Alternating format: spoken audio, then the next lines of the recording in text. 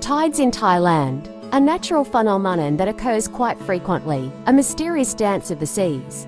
But how do tides form? And why are they so common in Thailand? Tides are caused by the gravitational pull of the moon and the sun on Earth, which makes the water levels of oceans and seas rise and fall periodically.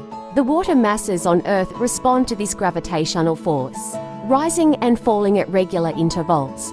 Since the moon is closer to Earth than the sun, it has a stronger pull on the water. Thailand's shores are regions where tides are more noticeable. The shallow waters make the tidal effect more pronounced.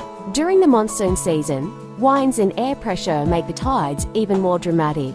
In Thailand, tides are not just a scientific phenomenon, but also an economic and cultural event for local people.